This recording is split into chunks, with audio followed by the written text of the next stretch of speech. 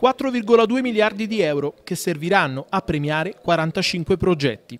Si parla dei fondi europei per il periodo che va dal 2014 al 2020, la cui programmazione è stata approvata dalla Regione Lazio.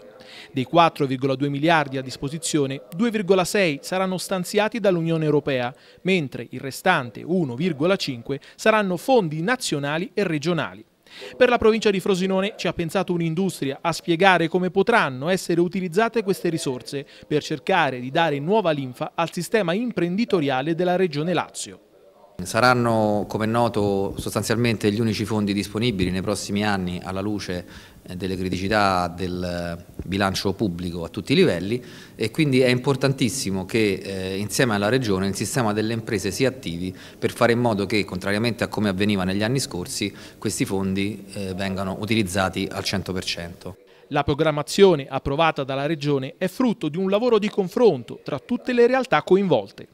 Il documento è frutto di una serie di osservazioni che sono venute da tutti gli operatori che sono chiamati a eh, attuare poi le direttrici che vengono lì indicate. È chiaro che adesso, secondo la normativa comunitaria, questo documento verrà sottoposto agli uffici competenti di Bruxelles, dell'Unione Europea, e eh, che daranno delle indicazioni su come aggiustarlo. Queste le priorità su cui lavorerà un'industria, assistendo le sue imprese associate.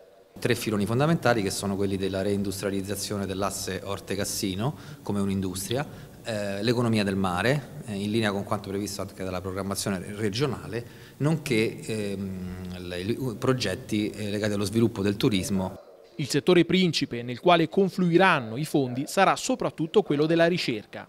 È proprio su questo tema che verterà la maggior parte dei finanziamenti eh, in applicazione di un concetto innovativo che è quello della concentrazione delle risorse. Ehm, è chiaro che in un momento del genere risulta fondamentale ehm, realizzare progetti di grande respiro